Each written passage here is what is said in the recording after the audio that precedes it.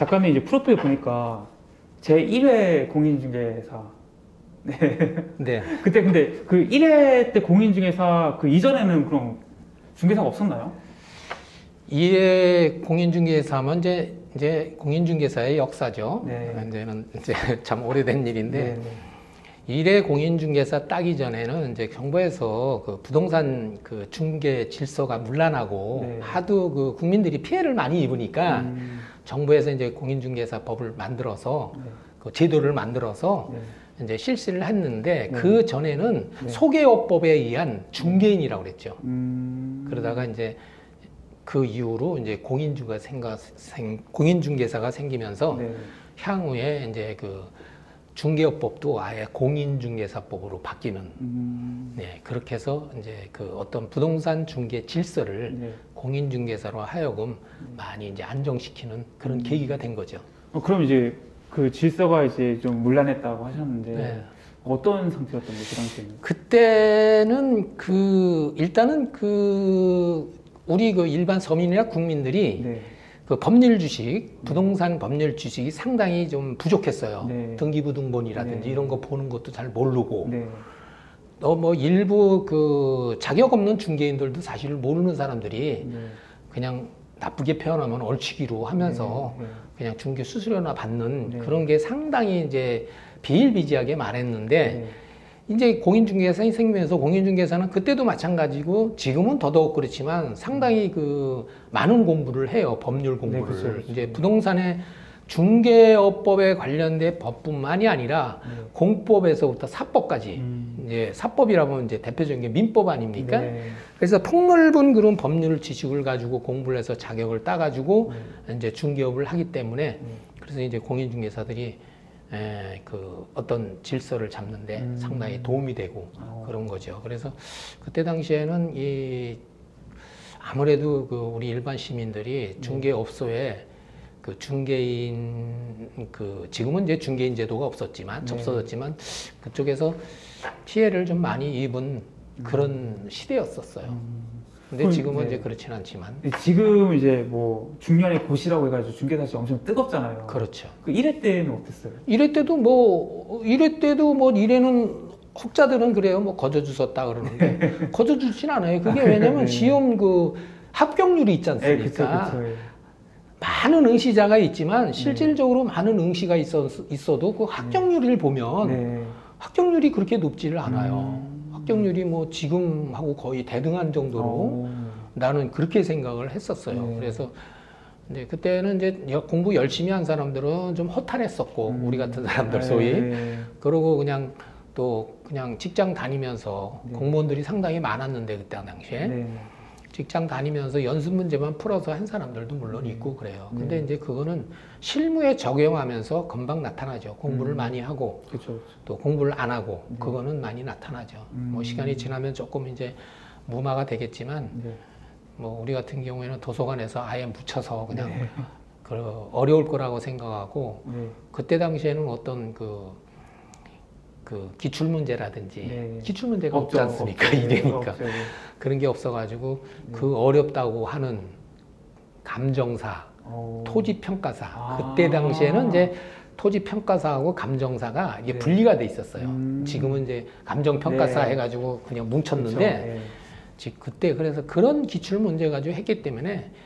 상, 상당히 좀그 수준 높은 공부를 했다고 봐야죠. 자랑은 아. 더, 아니지만. 더 어려웠네요. 예, 그러면. 그때는 어려웠죠. 그래서 우리는 사실은 기출 문제는 거의 그거 가지고 해가지고 음. 우리 그, 그 도서관에 그, 그 클래스가 12명 있었는데 네. 지금 뭐 믿거나 말거나 네. 그 12명 중에서 11명이 다 만점이에요. 아. 근데 한 명이 누구냐? 네. 한 명이 제가 하나 아, 틀려서 아, 진짜요? 다 만점 아, 자료로 네. 정말 수제들이었어요. 그렇게 음. 지독하게 공부한 사람들 나 보다 보다 뭐 처음 봤어요. 나는 나중에 들어갔는데 네. 정말 열심히 들 하더라고요. 그래서 음. 나도 그 덕에 음. 같이 이제 어울려서 많이 도움도 받고 음. 열심히 공부를 한 그런 계기가 됐죠. 저 작, 그럼 작가님은 그러면 그 공인중개사 시험을 왜 봐야겠다고 생각을 하셨어요? 아 이거 부동산을 제가 이제 건축을 형님 밑에서 가, 이제 배우고 이제 뭐 형님 밑에서 종업원이죠 따지고 어, 네.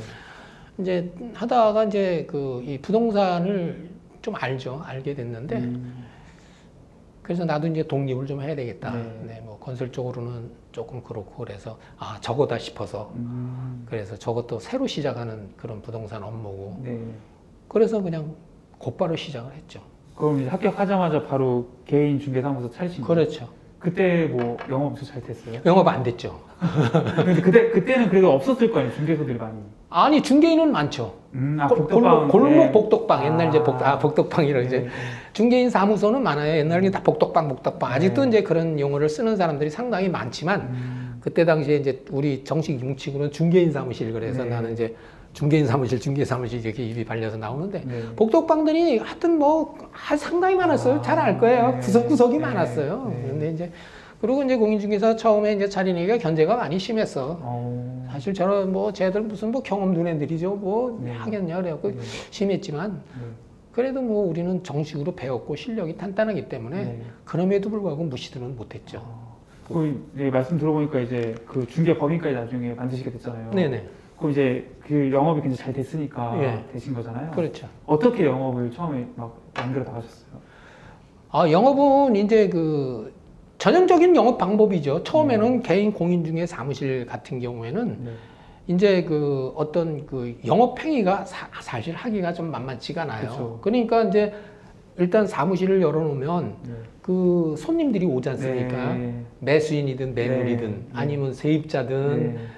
저 임대인이든 네. 그러면 그거 가지고 음. 그거 가지고 쌍방을 매치시키는 전형적인 그 중개업 방법. 네. 이제 아날로그 방식이죠. 네. 요즘 같은 경우는 디지털 방식이라 그런 방법은 안 통하죠. 네. SNS라든지 그쵸. 아주 마케팅이 대단하지 않습니까? 네. 근데 그때 당시에 마케팅이 없었어요. 음. 그냥 단순하게 그러가 그렇게 하고. 음. 그리고 이제 그 개발지를 향해서 이렇게 다니면 네. 개발지에는 이제 예를 들어서 택지 개발 예정지라든지 네. 뭐또 대규모 어떤 관공서 이전하는 장소라든지 음. 뭐 예를 들어서 뭐큰뭐 인천 그 당시에 내가 인천공항이 이제 생기기 막 그럴 때 네. 거기에 매물이라든지 네. 매수 그런 쪽에 어떤 그 타겟화된 그런 매 저 매수인이나 매도인이 풍부하기 때문에 그쪽 음. 쪽으로 가면 네. 그러니까 그거는 뭐 마케팅도 필요 없고 네. 열어놓고 하면은 자연적으로 이제 그렇게 거래를 이루게끔 그렇게 한 음. 거죠. 근데 이제 법인을 차려서는 좀 달랐죠. 어. 법인은 적극적인 마케팅을 통해서 네. 이제 일을 했죠. 왜냐하면 법인을 차리면서 내가 1층에 보통 그 중개업소 같은 경우에는 지금 요즘도 이제 뭐 거의 그렇지만 거의 다 1층이에요. 1층 음. 목적인데 네, 그쵸, 그쵸, 예. 2층, 3층에는 그때 당시에는 있을 수가 없었어요. 네. 근데 난 그때 당시에 2층, 3층을 얻었거든요. 어, 네. 2층, 3층을 얻으면은 네. 오다 가다 네. 오다 가다 매수인, 매도인이 들어오지를 않아요. 그쵸, 못 2층은 들어오죠. 뭐안 네, 들어와요. 안 알지도. 못해. 네. 그러고 한 걸음이라고 누가 계단 타고 올라옵니까? 그쵸. 그러니까 자동적으로 마케팅을 해야죠. 음. 그럼 뭐 그때 당시에는 요즘 들어는 사실은 그 SNS라든지 유튜브라든지 뭐 등등 그 포탈 그 그 저 검색 사이트 이런데 네이버나 다음 같은데 얼마든지 지금 크, 광고 네. 잘하면서 잘하지 않습니까? 네.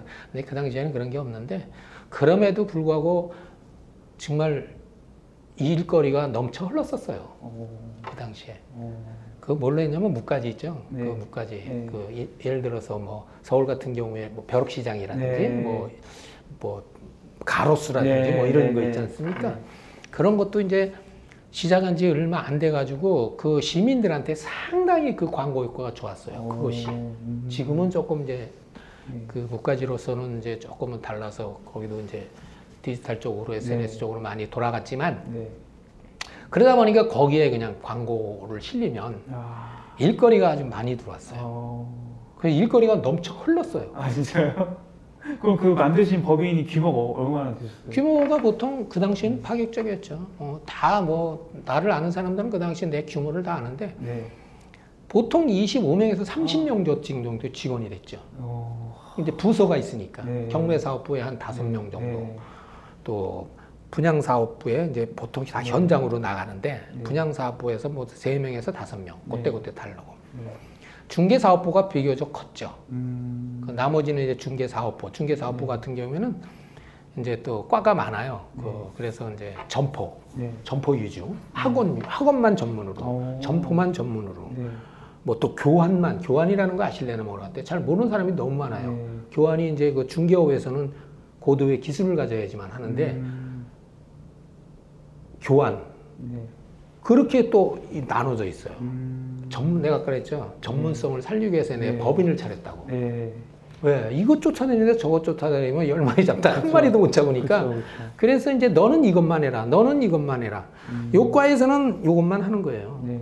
경무의 업무에서는 경무 업무만 해. 네. 분양 업무면 분양 업무만 해. 네. 토지 업무에서는 토지만 해. 토지하고 이제 상가. 네. 일반 점포 업소, 유흥업소라든지 일반 그 업소들 그 사람들은 그 사, 그것만 해 직원들은. 음. 다른 건 눈 돌릴 팀도 없어. 눈 돌리면 나한테 안 통해요. 음, 너 굶으려고 그러냐? 넌 그거 굶어. 다른 거눈 이렇게 다른 거보다는 너 굶어. 네. 근데 이제 예를 들어서 우리 그 이건복 씨가 네. 이건복 씨가 말 아, 맞습니다. 중개 이제 중개업을 한다. 네. 근데 업소를 한다. 네. 그럼 업소를 하면 이건복 씨 주변에 사람들이 많을 거 아니에요. 친구도 네. 있고 친척도 있고. 근데 네. 내가 그걸 한다고 하니까 야 주택 하나 사줘라. 어디 토지 하나 사줘라. 그럴 거 아니에요. 네. 그러면 그거 마다할 수 없어요? 네 그래야죠. 그쵸, 내가 그쵸. 그걸 하는데. 네. 근데 나는 내 업종은 내가 없어야 나가 없어 바빠서 죽겠어 네. 정말 이거 지금 너무 일, 이길 거리가 많은데 그걸 어떻게 해? 음, 못하잖아 네, 그렇죠. 근데 내가 이걸 해야 돼 네. 그럼 어떡하냐 회사에다 접수를 시키는 거예요 음, 매수인 접수를 시켜버려요 아, 네. 딱 관리부에다가 네. 그 양식이 다 있어 네. 그래서 자기 사인이 딱 들어가 음, 그러면 이제 나한테 딱 오면 내가 이제 서명을 해요 네. 서명을 해서 딱 넘기면 그게 토지부로 넘어가 아, 얼마나 깔끔해 네. 토지부로 넘어오면 토지부의 담당 팀장이 그걸 이제 배분을 해. 또 자기 그 음. 밑에 직원들한테. 네. 자기가 하든지 네. 자기가 할 만큼 양만큼만 딱딱 배분을 해서 네. 관리를 하는 거야. 아. 분배를 해. 오. 일거리를 분배를 해주는 거야. 어, 그러면 거기 이건복 사인이 들어가 있기 때문에 이건 이건복이 물건이야. 그렇죠, 그렇죠. 회사 물건이기도 하지만 네. 이건복이 물건이야. 그렇죠. 그럼 나중에 이걸 가지고 계약을 했다 그 직원이. 네. 그 이건복한테 나는 신경도 안 쓰는데 어느 날 갑자기 회사에 돈이 탁 떨어져. 와, 수수료가. 아, 그런 시스템. 그러니까 어, 깔끔하잖아. 네. 내가 너 물건 내 물건 네, 싸울 일이 뭐 있냐고. 네. 그러니까 나는 그렇게 운영을 했어요. 그러니까 서로 싸움이 안 돼. 아, 주어 야 네. 야 이거 내 이거 공장 하나 해달라는데 음, 그러면 저 관리부에다 넘겨. 그러면 네. 이제 관리부에다 넘겨가지고 그렇죠. 사인 내라 글로 내려가서. 그래서 이제 그렇게 아주 철두철미하게 물건 관리, 철두철미한 매수 관리를 했기 때문에 유지를 시킨 거예요. 싸움이 안 일어나. 아, 네 물건 내 물건 네. 싸움이 일어날 수가 없잖아. 그렇죠, 그렇죠. 나는 내 것만 하면 돼. 네. 내거 외에 들어오는 거는 그래 우리 저 저 뭐 김 과장이 김 부장이 또 하니까 뭐 회사에다 넘기면 너무 알아서 하겠지. 네. 그래서 그런 식으로 운영을 했기 때문에 음, 그 법인에 그 항상 그 일반 중개업소에 문제가 되는 그 소위 말하는 뒷박치고 뭐 네. 그런 그런 거는 사실 없어졌고 음, 계약 관리 같은 경우에도 상당히 중요한 문제가 계약 관리인데 네. 요즘들도 뭐 물론 그렇게 하겠지만 철두철미해요 계약이. 음, 예를 들어서 그 이제 보고서가 올라오는데 이제 확정 보고서가 올라와요. 네. 계약이 이제 약정이 잡히면 네. 직원들로부터 이제 그 확정 보고서를 작성해서 거기 일목요연하게 모든 권리 관계라든지 중개 수수료는 얼마라든지 네. 뭐 특이 사항이라든지 이런 게 쫙 써서 네. 딱 관리부에 들어가면 관리부에서 나한테 쫙 들어와요. 어, 그러면 내가 이제 쓱 보고선 근데 관리부에 올라오는 게 단순히 확정 보고서만 들어오는 것이 아니라 그 대상 물건에 대한 권리를 파악할 수 있는 등기부등본 네. 또 각종 공적 서류가 많잖아. 네. 뭐 토지대장이면 토지면 토지대장이라든지 네. 건축물관리대장이라든지 네. 토지계획 이용 항의론이라든지 네. 그 외에 서류가 같이 딸려 올라. 음, 내가 철두철미하게 그건 검색을 해요. 음, 검토를 해. 네. 특히 등기부 같은 경우에. 네. 그러면서 어 이건 문제가 있다. 이건 문제가 있어 계약하면 안 된다. 그러면 그냥 음, 결제를 안 내려고 내려오네. 아, 그래서 이제 항의하는 경우가 많아. 네, 그렇죠. 아 사장님 그거 얼마든지 해결할 방법이 있고 그런데 수수료도 상당히 큰데 그걸 어떻게 그걸 하세요? 네. 그거 계약했다가 회사가 잘못되는데 음. 내가 영창 가고 내가 아. 내가 끌려가는데 네. 어 나이 이기 전에 너도 담당가 있든 너도 피해가지만 네. 그걸 내가 어떻게 사인을 하냐? 음. 그러면 이거를 계약을 시키려면 권리관계에 있어서 뭘 해소하고 뭘 해소해 뭘 해소를 해. 음, 그러면은 내가 계약 쳐줄게. 그거 해서 와. 네. 딱 내려보내요. 뭐 그건 카레요. 음, 그렇게 해서 하고 뭐 예를 들어서 뭐 도시계획에 걸려 있는 땅, 뭐 향후에 뭐 수용될 수 수용된 가능성이 있는 땅들 같은 네. 경우에 뭐 그런 게 올라오면 네. 그런 거는 이제 뻔히 계산이 나오잖아요. 네. 이제 토지를 수용당하면 일반 거래액보다는 낮게 되는 그렇죠, 그렇죠. 경우가 이제 많거든. 네. 이제 거래 저 공시지가나 이런 거 계산을 해서 되기 때문에 네. 공시지가 플러스 알파에서 조금 더 되는데 물론 내가 이제 얘기할 기회가 있으면 뭐 그런 거 경매에서 돈 벌어주는 사례도 있지만 네. 그런 계산해야 되는데 이건 뻔히 이건 조만간에 수용당할 땐 그런 거 올라오면은 그건 안 시키지 계약을. 그렇지만 직원들은 아쉽지 안타깝고 그렇죠, 그렇죠. 그렇지만 아니지 길게 보려면 어. 그거 얹히지 그거 잘못 먹으면 얹히거든요. 그래서 네. 그렇게 이제 그런 식으로 계약 관리는 상당히 치밀하게 철두철미하게 네. 영업 관리는 또저 저 물건 관리, 매수인 관리도 그렇게 네. 싸움이 안 일어나고 그리고 이제 남의 그 중개업소에서 남의 공인중개에서 가져왔다 하는 물건은 인정을 안 하지. 회사에서는 인정을 절대 안 해요. 어. 그러다 보면 그건 질서가 문란해져. 네. 회사에서 취득한 물건조차도 이거 남의 물건이야. 어느 공인중개사 물건에 사인하려고 그러면 잘못하면 그렇게 되니까 네. 일절 인정을 안 하지. 아. 우리 물건만 해도 우리 매수인만 해도 지금 일거리가 넘치는데 네. 왜 남의 물건까지 남의 그래서 그런 질서 네. 이제 그런 질서를 잡았기 때문에 네.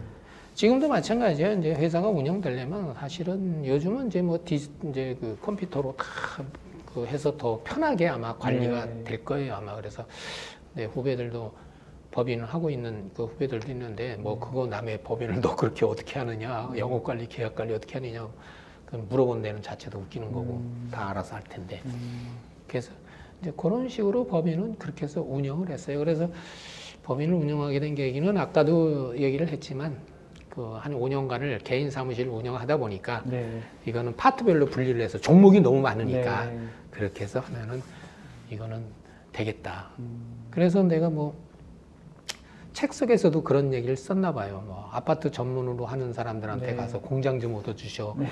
일가 친척이 네. 또는 후배가 네. 친구가 그럼 마당에 참 그렇잖아. 그렇죠.